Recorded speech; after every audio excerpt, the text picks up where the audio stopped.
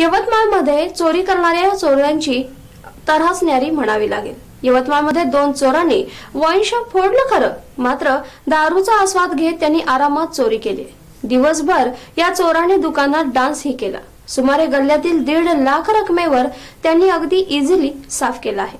एवढंच नाही तर महागडे महागडे उंची दारूच्या बाटल्याही लंपास केल्या. सुमारे गल्ल्यातील दीड लाख रकमेवर हात साफ करण्यात आला. एवढंच नाही तर महागडे उंच्या दारूच्या बाटल्याही लंपास करण्यात आल्या. ही सर्व घटना सीसीटीव्हीमध्ये कैद झाली पोलीस या चोरांचा तपास करत आहेत. यवतमाळच्या ऐन मध्यवस्तीत एक देशी आणि विदेशी मद्याचं दुकान आहे. मध्यरात्रीच्या सुमारास दुकानाचे मागील भिंत फोडून दोन चोर दुकानात शिरले. अगदी आरामात या चोरांनी दीड लाख रुपयांच्या रकमेवर हात साफ केलाय. आलेल्या नगदी रक्कम कुठे ठेवली आहे याचा शोध घेण्यात आला. विखुरलेल्या नोटांचं व्यवस्थित बंडलही लावून घेतले. हे सर्व करत असताना थोडासा थकवा जाणवल्याने श्रमपरिहारार्थ छानशी थंड बियर फोडून घेतली. यावेळी कुठे बियर सोबत कुठे चखना मिळतो का याचाही शोध घेण्यात आला. थंड बियर पीत आपोआपसात विस्तृत चर्चाही करण्यात आली.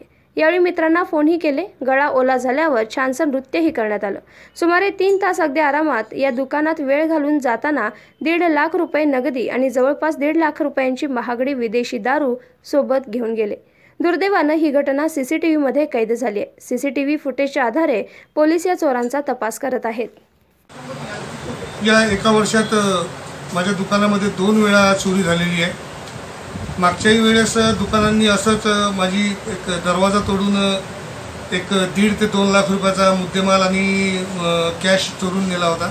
त्यावेळेस मी पोलीस स्टेशनला रितसर तक्रार दिली परंतु अद्यापपर्यंत त्याची काही चौकशी झाली नाही.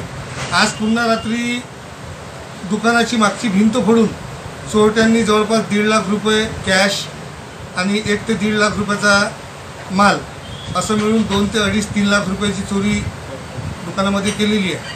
मी आता सध्या पोलीस स्टेशनला तक्रार द्यायला जात आहोत आणि त्यांना ब अजून पुन्हा दुकान फुटू नये अशी विनंती करणार